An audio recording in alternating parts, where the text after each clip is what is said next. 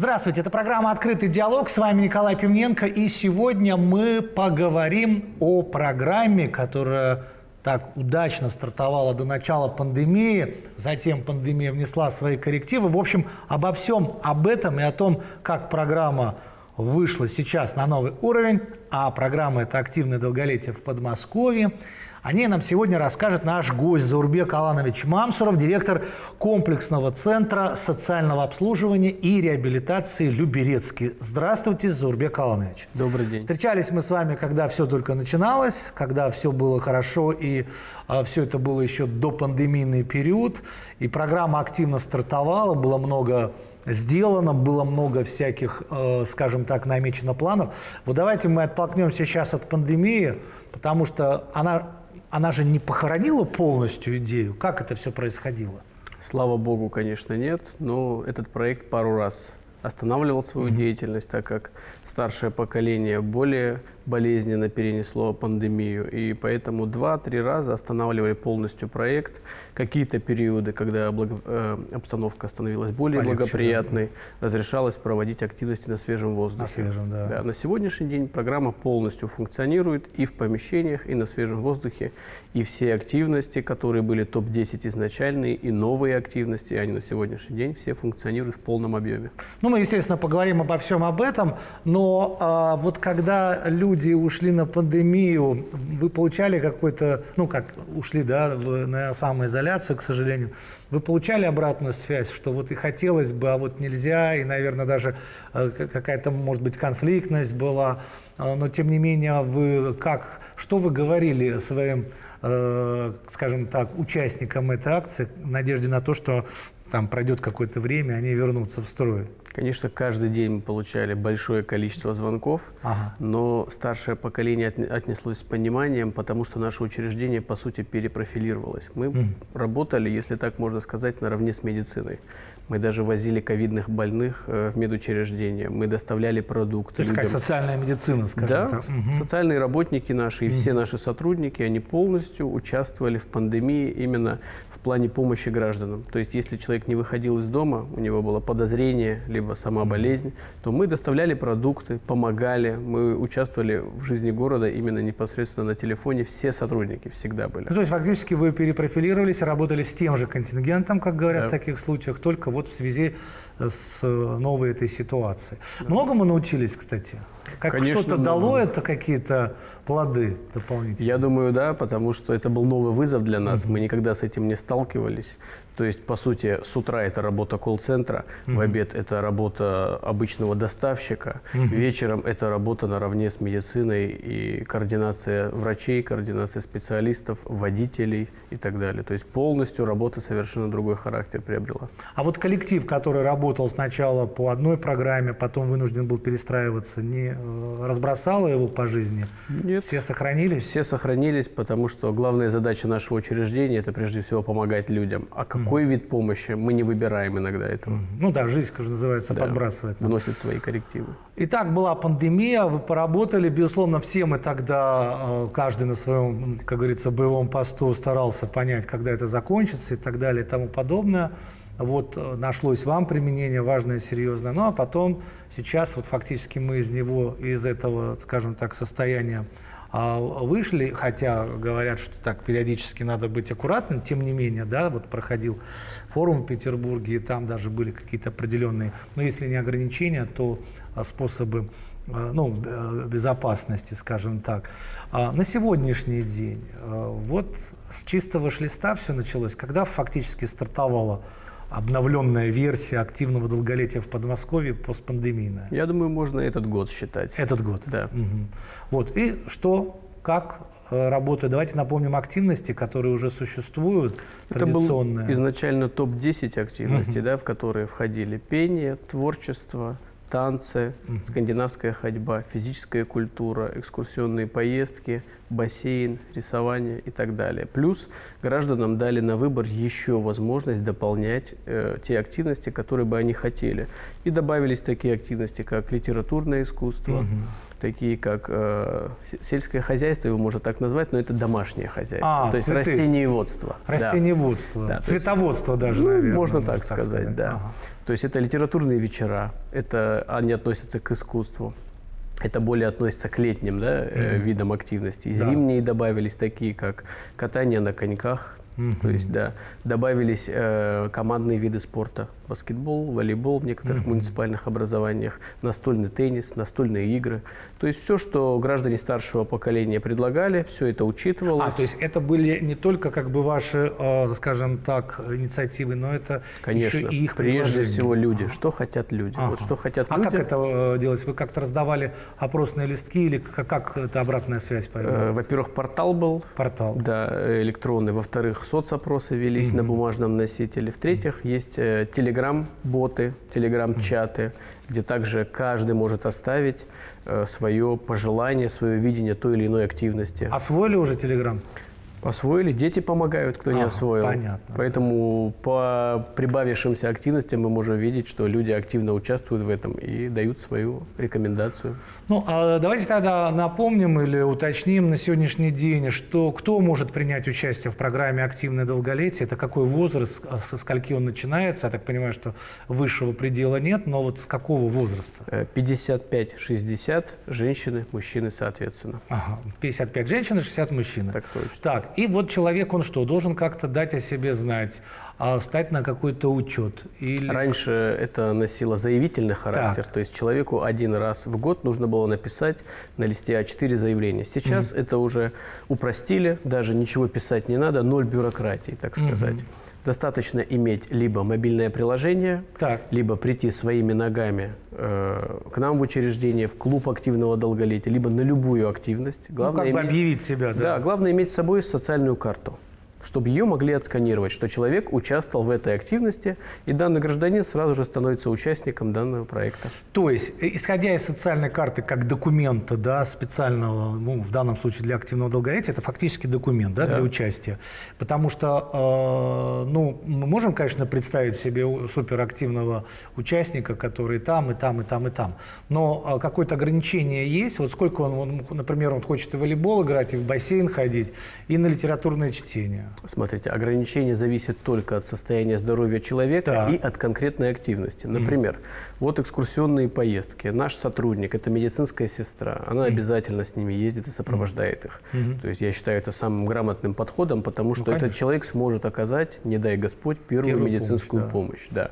То есть Ну, дорога, потому Да. что в дороге, да. да. Конечно, иногда экскурсии очень длительные, это 3-4 часа, да, дорожная ситуация, все это учитывается. Поэтому все зависит от конкретной активности.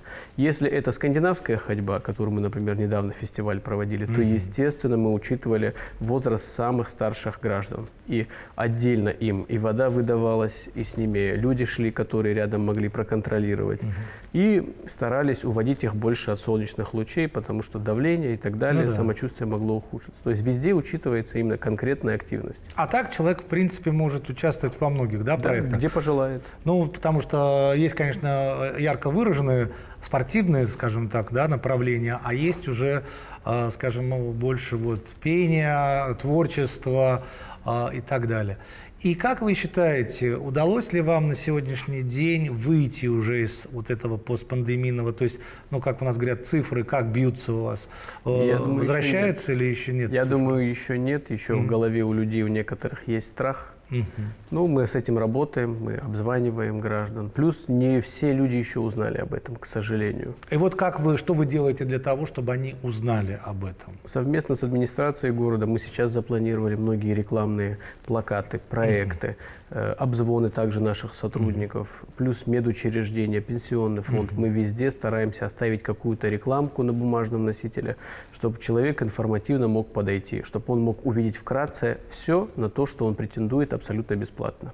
Ну и вот э, сейчас, пользуясь да, э, нашей программой, завершая первую часть, во второй мы уже более подробно поговорим о самих активностях, вот что бы вы сообщили тем людям, которые вполне возможно смотрят нас сегодня, может быть, это бывшие участники, которые, как вы говорите, пока еще боятся выйти из этого состояния, и те, кто еще ничего не пробовал.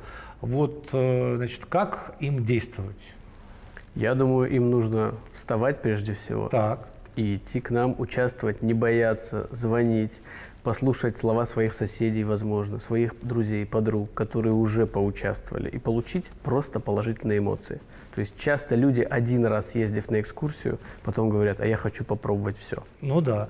Ну и мы же всегда э, даем право, если человек сходил куда-то, ему, ну, например, там не понравилось, он потом может выбрать другую, да, Конечно. А, активность и другую локацию и а, получить там э, удовлетворение. Кстати, по разбросанности, или как так сказать, по возможности, все-таки это люди зрелого возраста, э, хочется, чтобы им поближе как-то было. Насколько эти точки э, активности э, располагаются в городском ну, округе? Именно если Люберцы брать, он более-менее протяженный город, если да. сравнивать с другими угу. городами Подмосковья. В принципе, на территории практически всех Люберец есть активность. И, возможно, образно, если это какие-то танцы, где преподаватель угу конкретно заинтересовал граждан, то может быть здесь негодование, да, что один гражданин живет на другой стороне Люберец, а этот преподаватель преподает на другой mm-hmm. стороне. То есть вот так, с таким мы сталкивались. Ну, тут уже, да, такая история, да. значит, да, любите другого преподавателя да. или ездите к этому. Или, например, йога. Ага. То есть она ведется в двух местах в городе, mm-hmm. а в одном из них мы сейчас с вами находимся, mm-hmm. то есть здесь преподают. И это не такое популярное направление среди инструкторов, mm-hmm. но среди получателей именно социальных услуг это пользуется популярностью. Но пока на сегодняшний день две активности. И мы видим, что весь город хочет заниматься йогой. Ну, мы сейчас во второй части поговорим именно об активностях более подробно.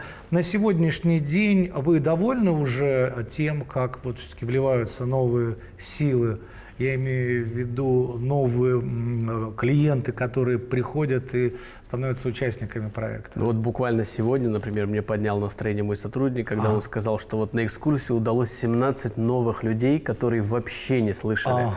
об этом проекте в нашем муниципальном образовании, удалось их привлечь. И вот я обрадовался. Думаю, ну, то если эти 17, то каждый еще одного-двух людей новых приведет. Да, ну да, такая уже почти геометрическая прогрессия да, может быть. Поэтому Напомню, что говорим мы о проекте губернатора «Активное долголетие» в Подмосковье. Я так понимаю, что сейчас в Московской области, если говорить в целом, да, то есть этому уделяется много внимания. Все э, участники проекта выходят да, из этого э, пандемийного периода и будут, наверное, какие-то даже соревнования, может быть, будут проходить между или пока ну, вот просто занятия идут? Даже буквально, я повторюсь, мы проводили фестиваль ага. скандинавской ходьбы. Так. Это было в виде соревнования, угу. но призы получили все, потому что обидеть мы никого не ну, можем. Это понятно, да. да. То есть вот Главное проводим... не победа. Главное участие. Главное участие. Да, каждому было приятно. То есть первые 10 мест образно получили спортивные костюмы, кто-то угу. получил медали, кто-то получил грамоты. Никого не обделили. Ну, я так понимаю, что такие же соревнования можно участвовать и в гуманитарном, скажем, направлении. Там э, конкурс песни, конкурс часов, там конкурс... А это мы каждую неделю участвуем периодически, mm-hmm. и мы даже побеждаем, и призы привозим к нам обратно в город. Плюс мы сами проводили здесь конкурс между всеми городами Подмосковья, mm-hmm. и сами дарили призы. Вот это было примерно 7 месяцев назад в том году, и вот получился хороший То конкурс. есть это не только про просто участие, а можно даже еще поставить себе определенные цели и бороться за определенные места, за призы. Да, конечно. Напомню, что Заурбек Халанович Мамсуров в гостях у нас, директор комплексного центра социального обслуживания и реабилитации Люберецкий. Говорим мы о, о программе «Активное долголетие в Подмосковье». Сейчас сделаем небольшую паузу, а затем поговорим более подробно, где наши уважаемые наши уважаемые, скажем так, будущие победители спортивных состязаний и всевозможных а, гуманитарных фестивалей смогут принять участие вот в новой уже обновленной программе. Напомню, что это программа «Открытый диалог». У нас в гостях директор комплексного центра социального обслуживания и реабилитации Люберецкий Зарубек Аланович Мамсуров. А, мы говорим сегодня о вернувшейся так скажем, из небольшого отдыха программы «Активное долголетие в Подмосковье». В первой части мы э, вспомнили то, что было до пандемии, о том, как работали э, участники этого проекта, я имею в виду те, кто его делает во время пандемии, и о том, как потихонечку проект выходит из этого состояния. И вот это слово так как активное долголетие, понятно, что есть слово активности, то есть там, где человек может себя проявить. Вот давайте начнем со спортивных историй. И э, потому что э, те люди, которые э, когда-то занимались спортом и занимались им ну, в течение всей своей жизни, и им легче, например, прийти, да, ну, они понимают э, свой организм. Есть люди, которые когда-то занимались, им кажется, что вот я сейчас тоже могу заняться волейболом, но прошло какое-то время. То есть вот э, какие спортивные активности существуют и какой отбор, как э, можно попасть вот в, в ту или иную спортивную активность? Ну, например, если разобрать эти активности, да, то взять бассейн. Так. Люди, которые увлекались до этого плаванием, всю жизнь плавали, отдыхали на море, неважно, да, просто умели плавать. Сейчас у них есть возможность ходить в бассейн бесплатно люди, которые впервые решили попробовать. То есть это не глубокий бассейн, у всех есть возможность. Люди, которые просто по рекомендации врача начали да, ходить в бассейн. Кстати. Не потому, что им нравится бассейн, а, а потому, просто... что они к нему нейтрально относятся, но есть врач, который сказал, что вам бы не помешало. Как процедура. Да, как процедура. обычная процедура, угу. даже не нося спортивный характер. То есть никто рекордов там ставить не собирается. Ну, да. Это всем понятно. Плюс положительные эмоции. Это же все-таки вода. Вода приносит положительные и эмоции. Там, а, я так понимаю, приходят люди, их как-то расписывают по группам, да, потому что, ну... Выделенные часы. Выделенные часы. Есть, да. Э, на данном случае это территория фитнеса в Люберцах, угу. на Побратимов. И у них есть часы, в которые они ходят. Это в основном утренние часы, потому mm. что старшее поколение любит с утра да. чем-то активно позаниматься. Ну да, вечером те, кто с работы приходят, я имею да. в виду уже... И, в принципе, это логично, чтобы выстраивать так программу, чтобы не мешать остальным. Чтобы те да, часы, да, да. когда бассейн простаивает, лучше в нем будут люди, которым нравится с утра плавать. Да, Почему для которых нет? это вот просто удовольствие, а не да, там тренировки такие, да? чтобы. Так, хорошо. Игровые виды спорта, о которых вы рассказывали, как здесь проходят? Игровые виды, их можно разделить на два подпункта, так ага. скажем. То есть это настольные игры, угу. что касается настольного тенниса, настольного бильярда и так далее. То есть угу. маленькие настольные игры. Это не требующие какой-то Супер физической да, подготовки. Да. Никакой серьезной активности, где там давление у человека может подняться mm-hmm. и так далее. И есть другие активности, это уже связанные с большим спортом, да, если так его можно назвать в кавычках. Ну, в данной нашей версии. Да, командные виды спорта, ага. баскетбол, волейбол, футбол и так далее. Здесь, конечно же, это их можно назвать молодые мужчины, угу. потому что мужчины в 60 лет, я не считаю, ну, что по нынешним уже... временам, да. да это... Если до 30 молодежь, то в 60 да. это... Я бы сказал, даже зрелые мужчины. Зрелые, да. Которые могут, в принципе, в удовольствие провести футбольный матч, волейбольный матч, баскетбольный матч и чувствуют себя прекрасно, улыбаются и так далее. Здесь, конечно же, все по самочувствию человека, угу. по его внутреннему состоянию, желанию и так далее. Все это учитывается. Некоторые э, кружки берут справки о определенных людей, да, в плане угу. того, что ему не запрещено, мерят давление и так далее. То есть какое-то присутствие медиков рядом Конечно, есть. везде это бывает, это все учитывается. Медиков, просто людей, которые давно в этом заведении работают угу. и следят за этим. То есть не обязательно, чтобы человек был с высшим медицинским образованием. Ну а вот, кстати, э, люди, э, персонал, вы же эти активности, вы договариваетесь как с какими-то спортивными... Везде есть инструктор, везде есть угу. тренер, который все это контролирует, ведет активность, вносит участников на каждую активность. То есть везде есть ответственный человек. То есть не, не просто так пришли Конечно. и каждый своим занимается, а именно везде по программе. в расписании по каждой активности указан номер телефона сотрудника этого и его фамилия, имя, отчество. Угу.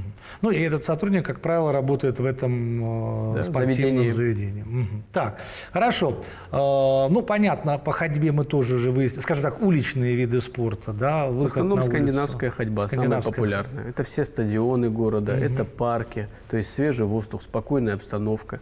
Опять-таки, никто никакие рекорды не ставит, все проходит в свое Но удовольствие. в ней не нужно да, особо да. Рекорды Нужно ставить. получить положительные эмоции. Положительные Это эмоции. самая главная задача. Вот, кстати, если мы уже сейчас говорим о спортивной активности, дальше уже будем говорить о других, э, насколько они пользуются популярностью, почему? Потому что все-таки мы воспринимаем сам проект как э, проект э, людей, как мы уже выяснили, зрелых, и иногда кажется, ну как, неужели пойдет там настольный теннис играть, или ну в шахматы, да, а, ну да, там, не знаю, в бильярд. А вот, э, то есть набираются команды, вот такие нормальные спортивные команды. И на ходьбу тоже с удовольствием записываются. Конечно, набираются. Вот смотрите, взять любой э, дом многоквартирный, там mm-hmm. же все равно есть люди, которые любят хорошо провести активно время. Есть. Этот проект им позволяет никуда не ехать, не договариваться с товарищами образно, ехать в Москву, ехать на какой-то стадион. Мгм. Достаточно просто пару раз прийти, познакомиться с новыми людьми и заниматься активностью. Что называется, в которую- шаговой доступности. Да, все в шаговой доступности, все удобно. Просто новые люди. Это единственный минус, а может быть и плюс, новые знакомства. А еще вот э, такой момент, э, коль мы говорим да, о спорте, понятно, что какие-то инструментарий должен быть свой, а э, какой-то, ну я не знаю, если волейбол, там сетку же надо, чтобы она натянута была. Кто занимается вот этим оборудованием? Ну, на примере вот скандинавки, смотрите, у нас Да. закуплено порядка 200-300 пар А, палок. даже палки Нам Мособлдума выделила па- па- палки тоже в подарок. То есть мы всегда дарим гражданам, это не проблема, все есть, весь инвентарь есть. То есть Плюс- только прийти. Да, в прошлом году нам также выделили деньги для клубов активного долголетия, чтобы купить э, шары для гимнастики, палки и так далее. То есть все это есть, инвентарь весь есть. А есть такие соревнования, э, завершая вот спортивный, так сказать, комплекс, э, предложенный активном долголетии, где могут поучаствовать там с детьми, с внуками, не знаю, с семьи, семейные какие-то варианты? Ну, все же нет. То есть все-таки это старшее поколение. Старшее. Да. Пока Все раб- для да, старшего Все поколения. для старшего поколения. Ну, но я думаю, что в дальнейшем, когда уже программа, наверное, наберет обороты, тогда, может быть, будут какие-то, ну, пересекающиеся, да, Потоки. потоки. Хорошо. Ну, а теперь говорим о том, что, то есть, э, спорт это замечательно. Опять же, мы говорим, это не значит, что если человек выбрал только спорт, он не может пойти уже там, я не знаю, э, в литературный кружок. А, Но есть люди, которые, да, выбирают себе конкретно. Вот давайте по гуманитарным пойдем активностям.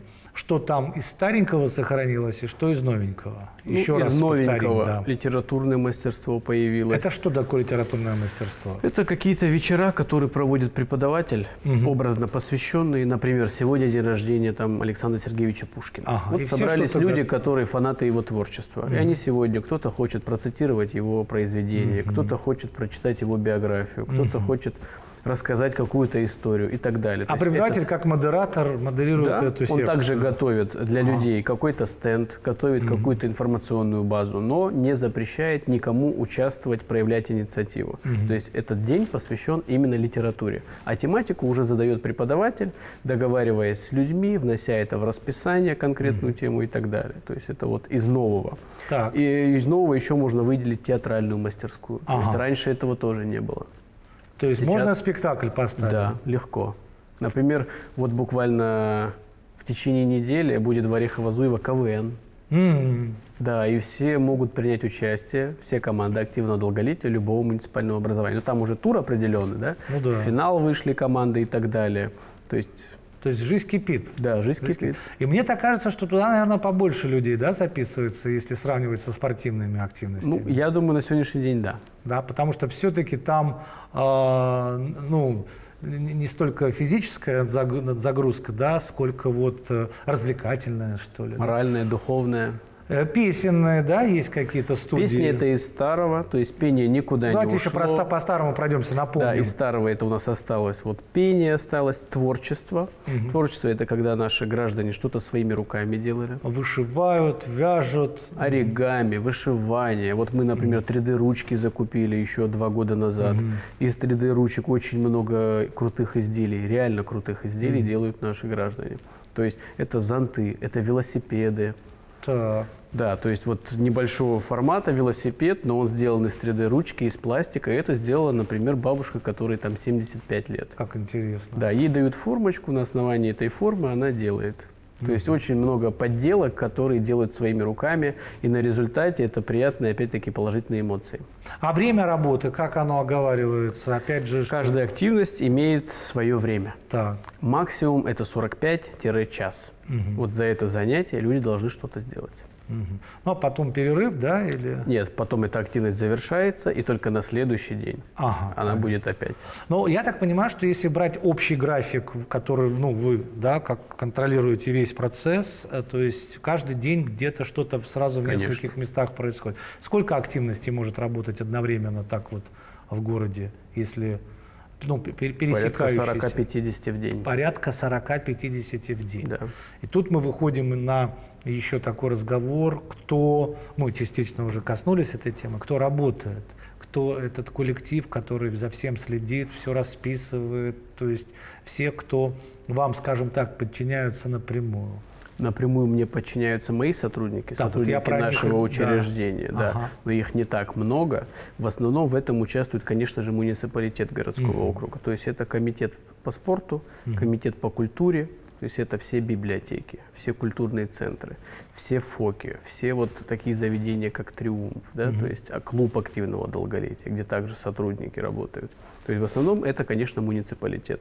Такая сильная машина, как городской округ. Ну и поэтому, в общем, как мне кажется, проще договориться, решить, Конечно. э, расписать, скажем, эти дни, э, сделать расписание, график, понять, куда может быть еще кого-то дополнительного, если что-то там, ну, Да, Спрос рождает предложение. Да, да, да. То есть есть заявка, есть пожелание, есть какое-то письмо от активного гражданина. Мы это учитываем и вносим это.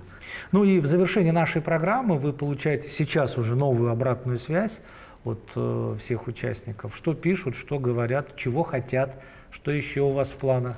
Вот смотрите, например, хотят сильно очень еще бассейн. Так, То есть вот я вам сказал, что один бассейн функционирует, Да. а в других частях городского округа бассейны не функционируют, потому что нет муниципальных. А. На сегодняшний день ведется диалог, чтобы во всех восьми бассейнах договориться. договориться и сделать э, добрые часы, чтобы они пошли навстречу с администрацией, договорились, и люди могли ходить во всех частях городск- городского округа. То есть это Да. Томилино, Краскова, Ну та да. сторона Люберец, Мгм. эта сторона.